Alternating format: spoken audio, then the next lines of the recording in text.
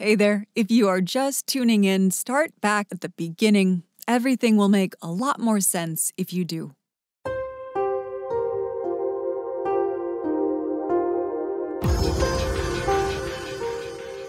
Previously on Shots in the Back. What is it you don't believe that you saw? That people could allow themselves to live in such filth without actually exerting themselves to some extent to do something about it.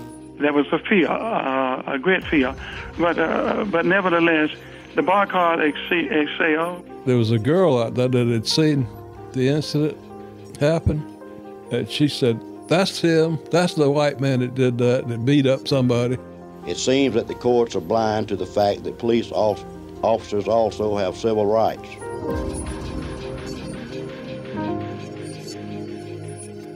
This is Shots in the Back, exhuming the 1970 riot. I'm Sea Stachura. So, at the end of episode four, Reverend Claude Harris asked a question that stuck with us Was it worth it? Was it worth all of these people getting arrested? Was it worth that little boy getting shot? Was it worth him dying? I've wrestled with Harris's question since I first interviewed him in 2012. How do you go about answering that question? So, in our final episode, we'll examine this from a few different points of view. And then we'll ask where does Augusta's quest for racial justice go from here?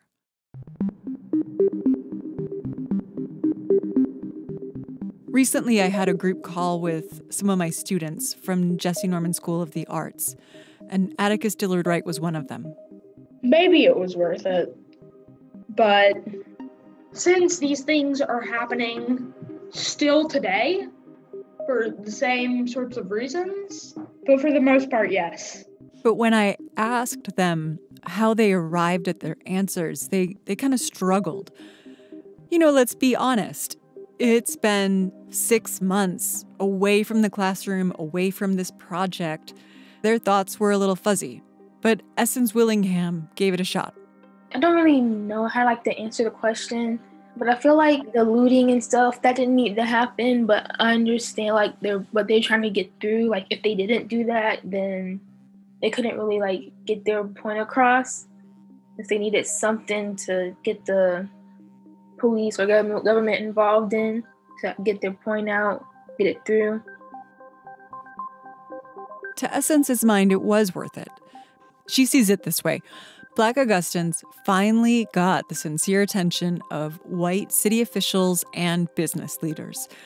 And ultimately, it resulted in a few positives a summer work program targeted at black boys, and in the Turpin Hill neighborhood, the city installed water and sewerage by 1972.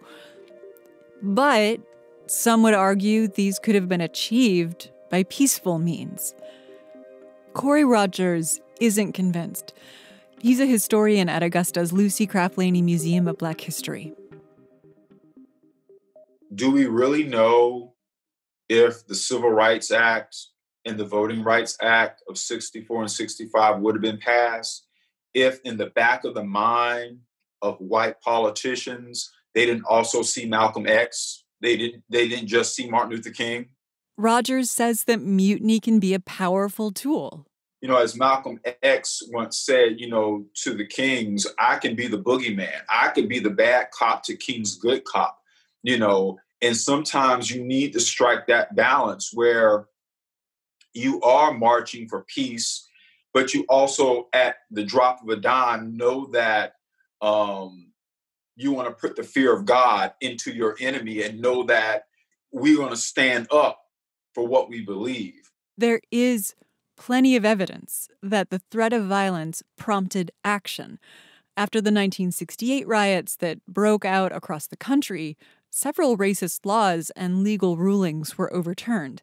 But the progress didn't last. Uh, but then, no sooner did we have those uh, pieces of legislation, did we have the campaign and the presidency of, of Richard Nixon, who who campaigned. Uh, he he rode the the white backlash uh, into office because he campaigned in 1968 uh, on the theme of law and order. That's University of Georgia historian Robert Pratt. And he says Nixon campaigned on fear.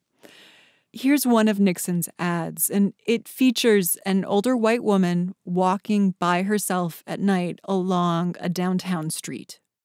Today, a violent crime is committed every 60 seconds, a robbery every two and a half minutes, a mugging every six minutes,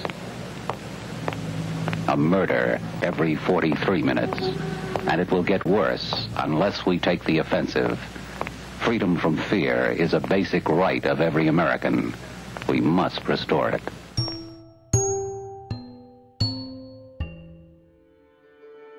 Crime had increased around this time in the US. It was in proportion to the nation's population growth, namely baby boomers. Nixon's team stoked white fear that black people in particular would sully white morality and safety. It played into stereotypes of black men as violent and depraved. Nixon's solution was the war on crime and war on drugs. That, in turn, ushered in the long lived era of mass incarceration of black people. Nixon's vice president later admitted it was a strategy.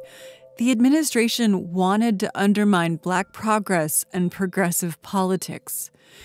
Pratt says Donald Trump is using the same tactics.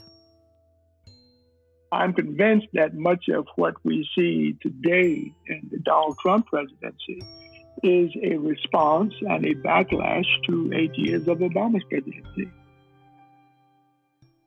Backlash has happened in response to all major American social movements Jim Crow in the wake of Reconstruction, conversion therapy after gains made in LGBTQ rights.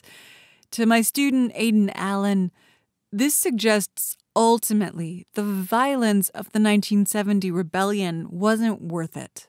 Honestly, I I kind of think that it kind of wasn't worth it because in the end, like the message wasn't really like didn't get out there.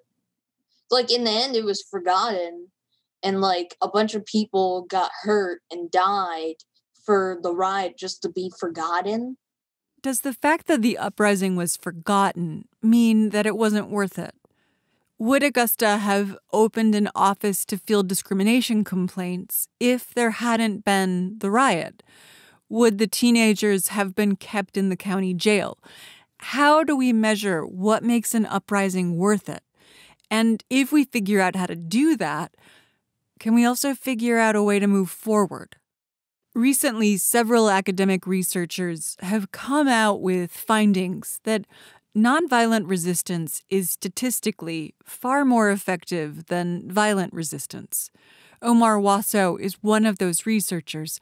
He's an assistant professor of politics at Princeton University. In about 50% of the cases where social movements used nonviolent tactics, they were able to achieve their outcomes, as compared with about 25% of the cases where protesters used violent tactics. Wasow looked specifically at how different types of civil rights era activism influenced voting. And what I found in the 1960s was that protests that were generally nonviolent and or were objects of violence tended to get more sympathetic press coverage that tended to have you know headlines that focused on civil rights.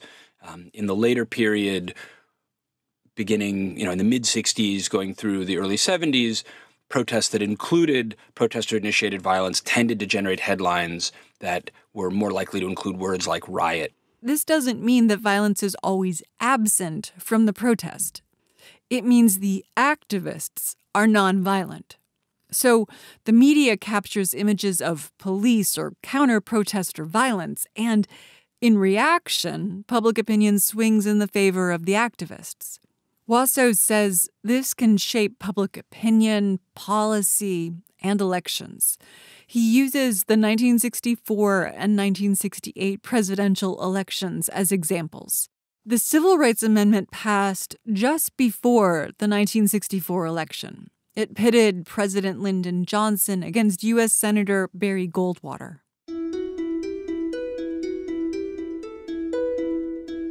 So we have Johnson, who's clearly a champion of civil rights on the one hand.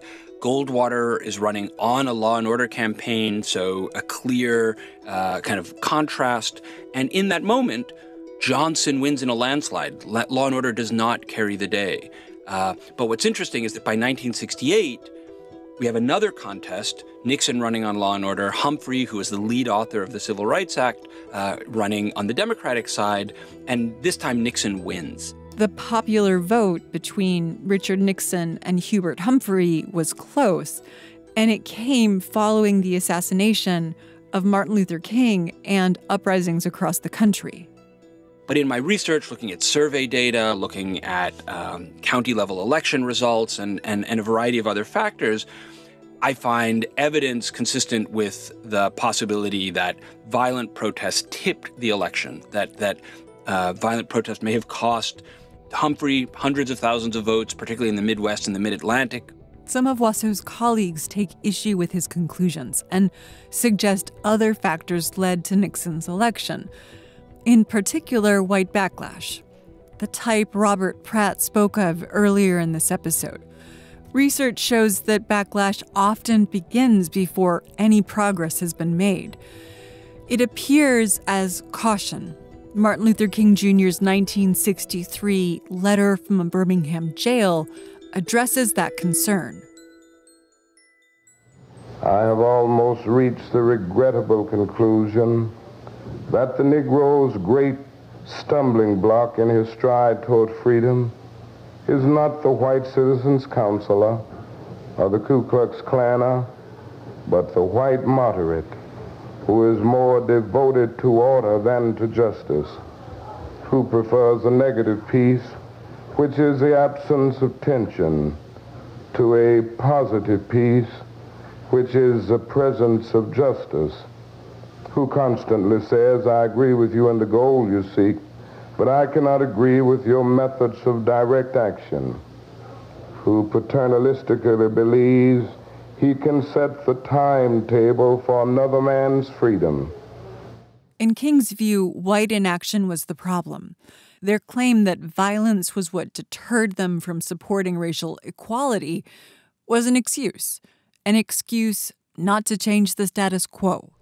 You assert that our actions, even though peaceful, must be condemned because they precipitate violence. But is this a logical assertion? Isn't this like condemning a robbed man because his possession of money precipitated the evil act of robbery? Society must protect the robbed and punish the robber.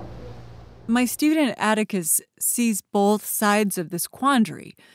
Yes, the violence in Augusta forced white leaders to finally address some of black residents' concerns. But he also sees that whites opposed to justice then found new ways to stymie black progress. To make long term change happen, you cannot use violence because, like, what has been happening now is very similar to what was happening in 1970 and we're still like calling for the same types of change and still not very much is happening in King's opinion, social change wouldn't take that long if white Americans got on board. If they became committed to their nation's ideals of justice instead of comfort, then progress would come. And without it, progress is as slow as a mule drawn cart, as was the case in Augusta's Hyde Park neighborhood. We talked about that neighborhood in episode two. It was built in a floodplain and surrounded by industry. Former resident Charles Utley and I are visiting it. The smell. Do you smell that smell? Yeah. It smells like cat litter and laundry detergent. Mm-hmm. Is that what it smells well, like well, to you? I, I, would say like um, something that's been burned. Well, like it wouldn't be a tire burn, but it would be like a chemical burn. Yeah. That would be off. Is what I'm smelling. Yeah. Some of you wondered what happened to it. Did it get sewers and paved streets? Yes, it did. But after that battle was won, another one started. In the 1980s, the county health department told residents that their wells were poisoned. They shouldn't use them for drinking, for bathing, garden watering, pretty much anything. Residents stopped using the wells, but they kept getting sick. Utley says babies were born with birth defects and kids had skin lesions, and cancer was ubiquitous. There were over uh, 300 families out here. You're going to get at least over 100 people easily. And I, I'm, I'm almost sure we're over 100 now. Actually, that tally is much higher. In the 1990s alone, the county health department recorded 180 cancer related deaths. Brain, bone, and skin cancers were common. Utley and others began trying to understand why, and eventually, what they learned was that a telephone pole factory across from their neighborhood had admitted to contaminating the area with creosote and arsenic. The company had compensated white residents in a neighboring subdivision, but they never told Hyde Park residents. So they asked for help, first from local government, then county, and finally the state. They got nowhere. Georgia's Environmental Protection Division declared the neighborhood's soil and water had acceptable levels of arsenic and lead. So did the U.S. Department of Health. And both statements were untrue. But residents would need proof, and that would take money, so they applied for a federal Environmental Protection Agency grant. These grants are usually applied for by local governments. They're complicated and massive applications. But Utley says residents had been put off so many times. The neighbors had no choice but to take on the process themselves. And, and so therefore we, we, we had gone through all of those keys. We had gone to Washington. We had been in, on the Senate hearing. We had carried the, the water, contaminated water, to Congress and presented it to them for evidence. Uh, so it was bringing embarrassment to the city of Augusta. The EPA approved their application. Utley takes me to the first intersection of the neighborhood and stops. He points at a fenced off lot. The telephone pole factory wasn't the only polluter. On this side was Goldberg Brothers Junkyard. Um, uh, approximately 10 stories high was stacked with just junk. Like cars or like what? Cars, all recyclable. And uh, we also found in the junkyard building, which was right in this front here, car batteries, stacks of them. Researchers found that the soil and water in the neighborhood had extremely high levels of known carcinogens. It was a win, but cleanup wouldn't start until 2001, 17 years later. Funding came primarily from the state and federal coffers. The junkyard took $10 million to clean it. It was just that much junk on it, that it, that it, had, it had that much uh, uh, tires and rubbish on it. Residents were relieved. Their efforts had made a difference. Unfortunately, their land and water were still toxic. The insulation factory, the major power substation, the railroads, the new junkyard, all of these contributed to the pollution. Bob Young was mayor at this time. His administration cleaned up the junkyard, but residents still lived on toxic soil. Young says there was no money and no solid plan for the residents. Instead, they put up warning signs. One advised residents not to swim in the drainage ditches. And then we had to deal with what are we going to do next? What comes after that? Are we going to uh, do anything with the neighborhood? Are we going to improve it? Are we going to get the people out of here? And then those were subsequent steps that really came. The, the big buyout and all that came after I, I left office. Almost 10 years later, Augusta Richmond County finally agrees to buy out residents. All told, getting out of Hyde Park took more than 30 years of contamination reports, lawsuits, and public pressure. That's a long time to wait. In that time, six different men held office as Augusta's mayor. This sort of environmental racism is still common. Take Flint, Michigan. In 2014, residents started complaining about the quality of their water. It was brown. The state denied any problems. Two years later, Michigan was forced to acknowledge the contamination. The water was poisoned with lead. Now, in 2020, the state has agreed to pay Flint residents, and their victims' compensation account currently stands at $600 million. These are the sort of facts that give students like Atticus Dillard Wright pause. It feels like, on a personal level, only people in positions of really high power can do much of anything at all to like stop systemic racism from happening in the police and other government um, agencies. Historically, those are the people who haven't made stopping systemic racism a priority or who won't admit that it's a problem. And there is a fundamental rule in politics. Here's former Mayor Bob Young explaining it. People don't give up something without getting something. And, and the key is finding out what the other person wants. And politics has taught me it's not necessarily the thing on the table that the person wants. Given that rule, what do disenfranchised black people have to offer politicians? Hyde Park residents had something to offer Augusta's politicians the chance to avoid further national embarrassment. All the region had to do was clean up a toxic waste site. What do today's racial equity activists have in their back pockets? When we come back, we'll hear about the kinds of protest tactics Augustans are using today. That's ahead on Shots in the Back.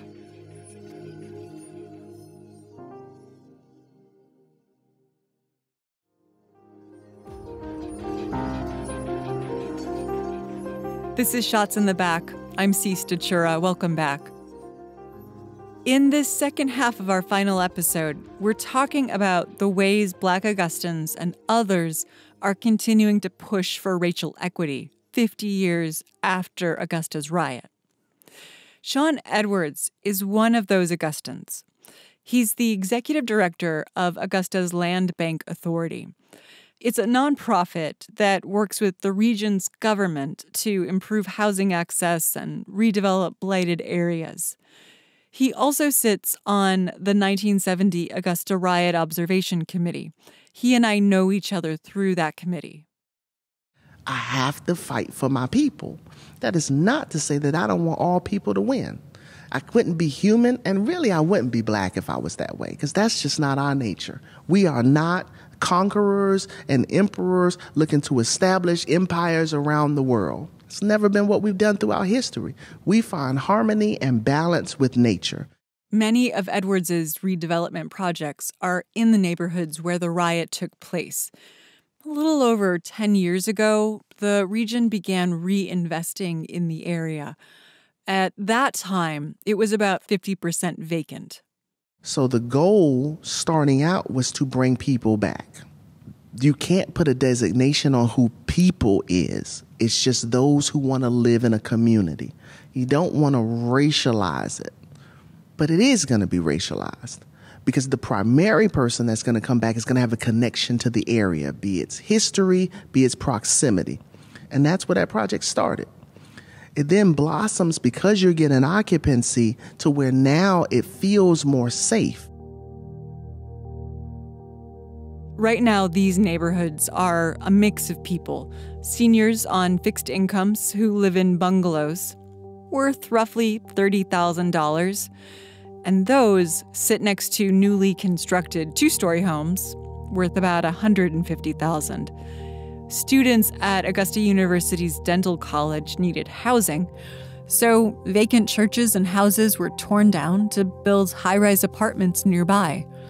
Edwards says that housing was necessary, but it will lead to an era of gentrification. You want to bring a bunch of people in to repopulate the area. You want to be able to raise incomes in order to provide services. All of that is necessary. But when you bring in 200 units at one time, you're not bringing in 200 black folks. So that goes back to the ripple effects. Does the African American neighborhood stay an African American neighborhood? It doesn't. Why is that? Because African American neighborhoods are allowed to become depressed areas. That can happen for a variety of reasons. But no matter why it happens, Edwards says it cuts into black intergenerational wealth. Let's say your grandma's wealth is tied up in her home. If her neighborhood goes into decline, her home depreciates. She has less to borrow against. She also has a smaller inheritance for the grandchildren. Edwards says for black folks, grandma's house is almost always in a depressed neighborhood. Blacks are no further along than we were when we were released from the plantation. Our percentage of ownership, what we own, control, and can pass down to our children, has not moved. To his point, in June of 2020, a study came out about the wealth gap between black and white families with school aged children. Here's an anchor with Chicago's WTTW with the headline New research shows the wealth gap between black families and white families has widened since the Great Recession. And although the gap between white and Hispanic families has shrunk slightly, it is still massive. The study from Northwestern University shows that for every dollar a white family has, black families only have one cent. That's not news for Edwards. For him, it points out how necessary these reinvestment projects are for Black success and how much more there is to do. He questions whether the county really wants to see economic and social advancement. What you put your money into is what's important. Doesn't matter your value system, doesn't matter your ethnicity, gender, race, and what you spend your money on is what you believe in. In the past decade, Augusta Richmond County has concentrated its urban renewal efforts on projects that foster primarily white, middle, and upper class opportunities. Projects like the Georgia Cyber Center campus, high rise apartments for medical students, and parking decks for corporate offices. Meanwhile, Edwards says historically black neighborhoods remain disinvested by comparison. Augusta's current mayor, Hardie Davis, says local government tries to be conscientious of how growth impacts all of its residents. When we talk about risk, you know, uh, we don't always do SWOT analysis of the opportunities that present themselves, uh, but you have to humanize opportunity. And in underserved parts of our community in Augusta, we have always got to keep in mind that as we're moving new people in, we can't do it at the expense of those who already exist here. But those legacy residents are being priced out of Augusta's historic neighborhoods. So, activists like Jamie Tutson are focusing their energies on empowering Augusta's disenfranchised. Tutson is an oncology nurse, mother, and founder of the organization Black, that stands for bringing lives and communities closer.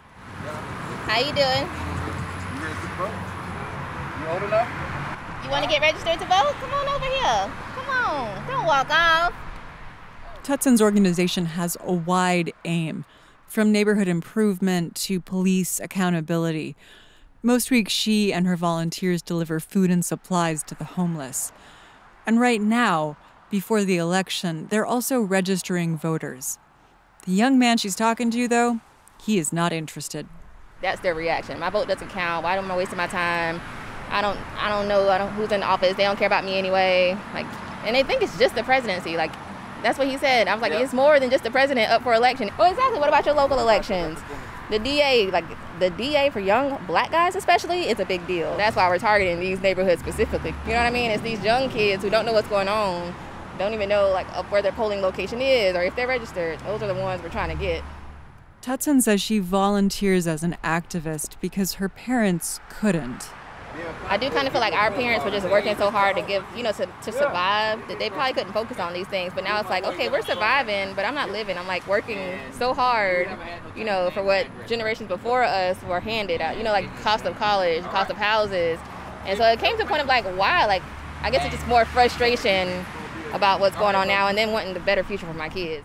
This evening, she and another organizer send out eight volunteers to register voters. They cross a busy road and head into a sprawling apartment complex. After an hour, they return with eight new registrations. It's not a big haul. So they talk strategy.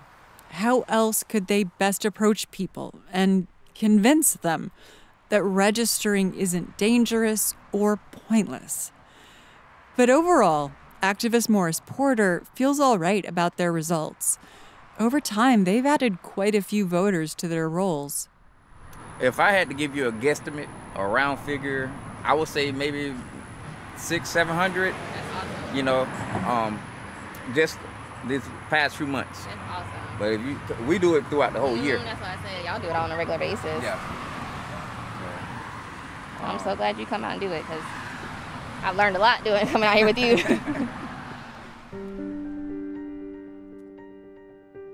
Porter leads the Augusta chapter of the National Action Network.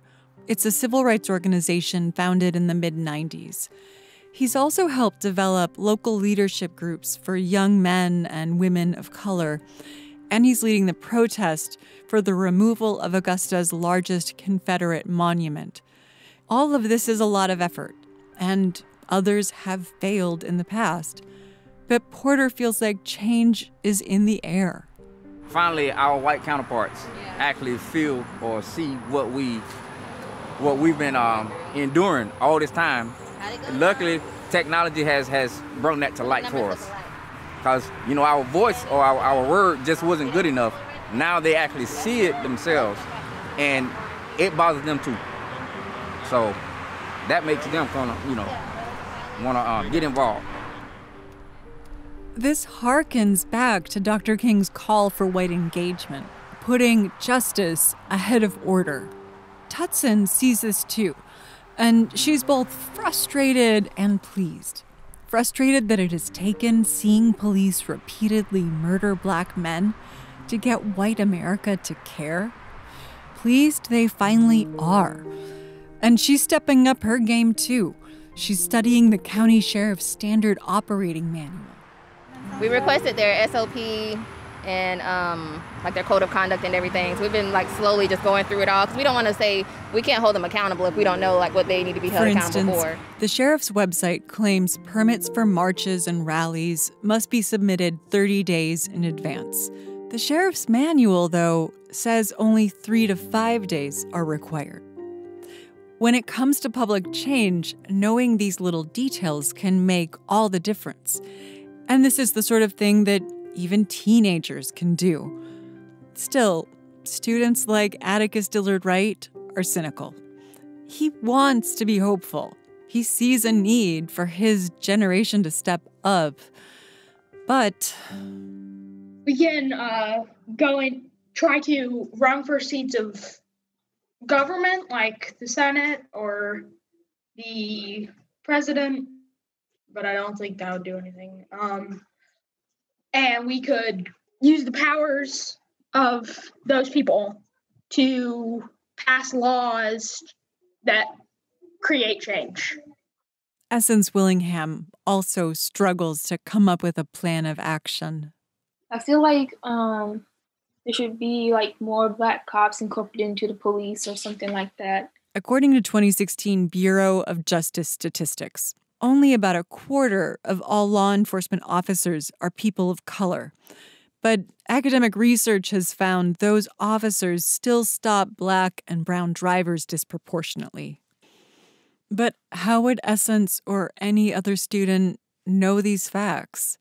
They aren't taught in this school, and generally, public schools don't teach how civil rights activists or suffragists or even Mahatma Gandhi engaged in nonviolent protest. So it's no wonder ideas aren't readily at hand. And then there's student Aidan Allen. After I've buttonholed Atticus and Essence, I turn to him. I ask him what he might do with this knowledge about the riot or how he might reduce racism. I'm kind of just like, I'm not sure what to do, and I don't really. I kind of like being useless. It's very comfortable. I laugh because it is very comfortable. If you can't think of something to do, then you can't be blamed for not doing something. Without this podcast project, Aidan most likely wouldn't be talking about racism. And he does see value in that. The podcast is helping, so like could be helping. So it's like I'm kind of helping with like getting stuff like the podcast out. If there's one truth about this podcast, it's that the students' perspectives have been invaluable. So, yes, I'd agree that he and the others have helped get this history into the world. The uprising isn't included in the state's history curriculum, but recently a few area teachers have said they intend to include it in future Georgia history classes. Uh, hello, my name is Christy Bryan. I am a Georgia Studies teacher at Lincoln County Middle School. And we are about 45 minutes away from Augusta. Christy Bryan is one of them.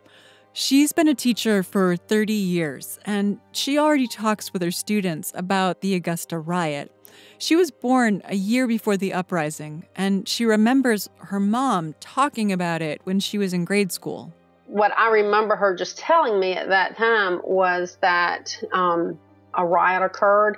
There was uh, burning of buildings in downtown Augusta. She didn't tell me the rest of the story, and I don't even know if she knew the the whole rest of the story. The kids need to know everything so that they can can make their own I guess you would say, minds up about what exactly happened. The kids she's referring to are her students at Lincoln County Middle School. She says her district was fully integrated just a few months after Augusta's uprising. About half of her students are black and the other white. The number one rule in my classroom is respect, and it's respect of other people's feelings and respect of other people's opinions. And once I have that down, it leads to a lot of just open discussions for the kids. When she brings up the 1970 riot, it's more in passing. It's mentioned as part of the lessons on the civil rights era protests. Bryan sticks with the facts nothing more, nothing less. And she's careful to do so. She knows how touchy the topic is. And she says that's why many teachers don't want to cover it and other instances of racial violence. I believe a lot of teachers are afraid that they might lose their jobs. As someone was saying to me last night, we walk such a fine line, and it's really uh, difficult to pacify everybody. And even though it's facts, this happened, uh, a lot of people are like, why do you want to bring that up? Why do you want to, to stir up trouble? But Bryan asks, for whom would it be trouble? It's certainly a painful memory, a painful moment in our past. Several of the people we spoke with expressed a degree of shame over their actions and inactions. Many others expressed bewilderment at the hate they witnessed. One of the things my students learned over the course of this project was to overcome fear the fear of being misunderstood or ridiculed, and the fear of feeling, witnessing someone else's pain. For my student Tiara, that's what made learning about the uprising worth it. I don't like just knowing stuff. I like to at least know at like at least two or three levels below. I just need to get a deeper understanding of it so that I can see where people are coming from because my biggest thing and my mom's biggest thing right now is like empathy. Just knowing where both sides come from. It's like, okay, I see that. I don't necessarily agree with that, but I see that. She hopes other people develop empathy too. In particular, she's thinking of Americans who typically haven't believed systemic racism or police brutality is a big problem. A year ago, Tiara was only beginning to notice how similar present day racism is to what was happening back in 1970. She was one of the students I drove down to Charles Oatman's gravesite. They recorded audio, took photos, asked questions, mispronounced names. And then we headed back to more familiar territory Wendy's. A couple of them had never been. We sat around a table, and I turned on my recorder. I asked them if talking about the riot had gotten easier for them. At first, nobody wanted to respond. It had been a long day. Then Atticus complained about his fries. My fries are super salty. Like I hate having a pile of salt in the bottom of the thing. That's my favorite part. That's Thomas Collins and Tiara that you're hearing. At first, all eyes go to Tiara. I talk all the time. She does talk all the time. Thomas, you talk. I didn't hear your question, but I was just making sure we were on that same topic. Um, I only feel like it's a lot more approachable now, though. Um, not not in the sense that like you know I'm just gonna start like randomly spouting about it, but you know if it comes up, I'm not gonna be like, oh yeah, that. Um, I got a I got an appointment at the dentist's doctor. you know what I mean? Like, A uh, dentist doctor? Yes. Doctor dentist. Everybody laughs and starts joking. After a while, I ask if he knows what has changed to make it easier. It's- It's gotten easier to speak about racism in general since we've been talking about the riot. That's what I meant to say. And I'm trying to break down why here. Um, It's kind of like change or whatever. When change first happens, you don't really like it that much. But then once it keeps going on, it you kind of get comfortable with it. Like as long as we've been talking about it, it's kind of like we've had to talk about it. So it's like we all ca- became familiar with what needs to be said and whatnot, and so. Over the course of this podcast, you've heard these students evolve. You've heard them struggle to relate to what was happening, sometimes to believe that what they were learning about was being mirrored in the present.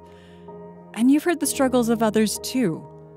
Black men and women who took on city, county, and state elected officials.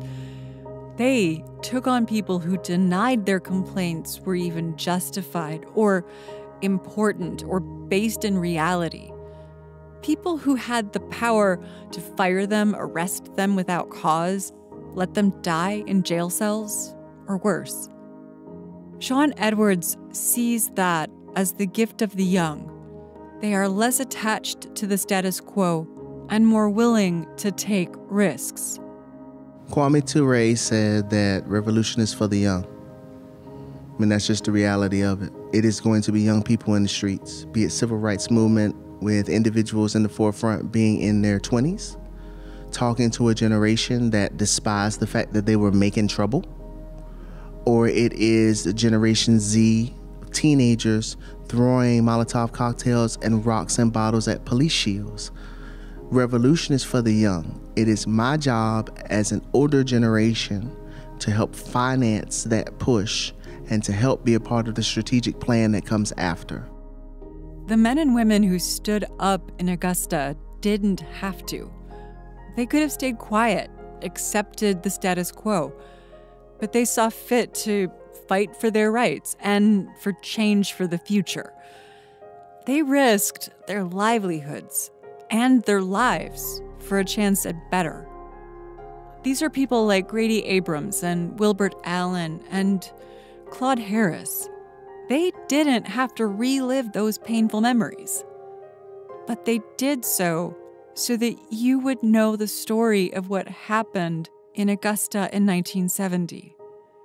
Even the ones whose behavior was reprehensible or whose views were controversial or outdated, none of them had to participate. But they did. And my students, who reluctantly took on this project with me, they challenged themselves, they challenged me. And ultimately, they gave this podcast an unexpected dimension. They made all this possible. And what comes next is up to all of us.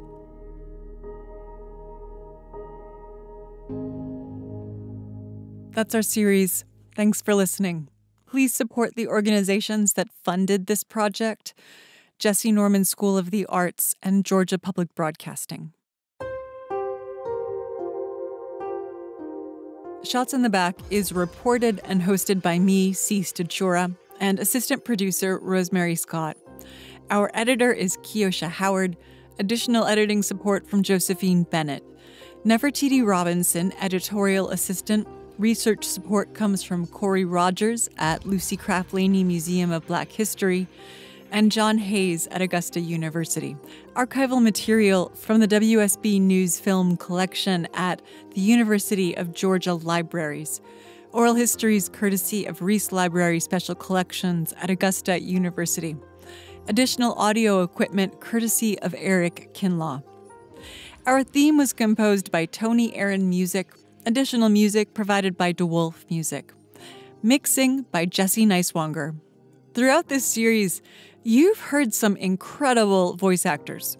They include Baker Rousseau, Mackenzie Stallings, Fred Hill, Steve Carton, Don Smith, Kimberly Davis, Kimberly Mobley, Nicole Swanson, Mark Scott, Shaniqua Dickens, and Hab Halbertson.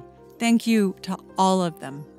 Sean Powers is our podcasting director, and Marilyn Ryan is the station's vice president of news. Gary Dennis is the executive director of Jessye Norman School of the Arts. This podcast is funded in part by a South Arts grant.